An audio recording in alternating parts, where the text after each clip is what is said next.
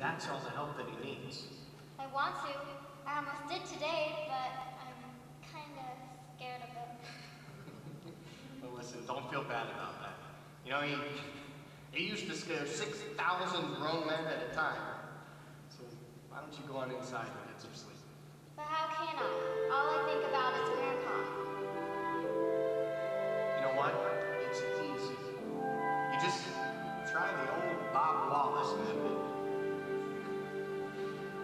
When I'm worried and I can't sleep, I count my blessings instead of sheep. Then I fall asleep, counting my blessings.